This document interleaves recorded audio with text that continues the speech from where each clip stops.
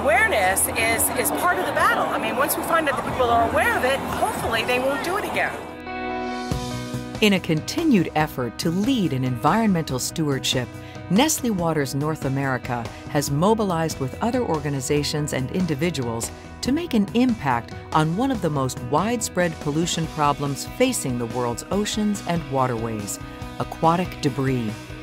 Though we recognize that the packaging material we use contributes to the problem, our ultimate vision is that none of our bottles or caps should be littered on roadsides, in landfills, waterways, or oceans.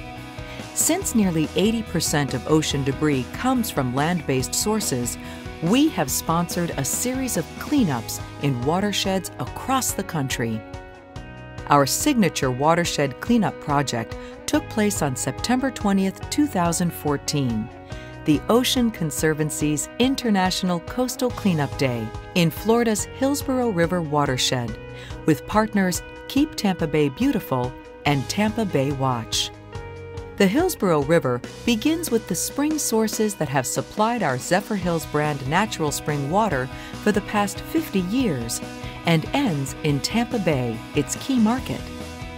More than 4,300 volunteers took part in land and water based cleanup efforts, with some patrolling the shores in kayaks. 60,000 pounds of trash were removed from 70 sites throughout Hillsborough County. Cleanups alone will not solve this problem. Looking ahead, our challenge is to make these local projects have an impact beyond their watersheds by placing our aspirations on analyzing, studying, modifying, and replicating these projects throughout the United States.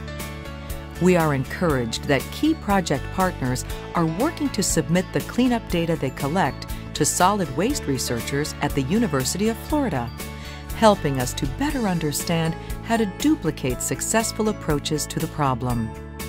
While Nestle Waters North America may not be able to single handedly solve a global challenge like aquatic debris, we can act locally by convening partners at and near our operations to model trash free waterways.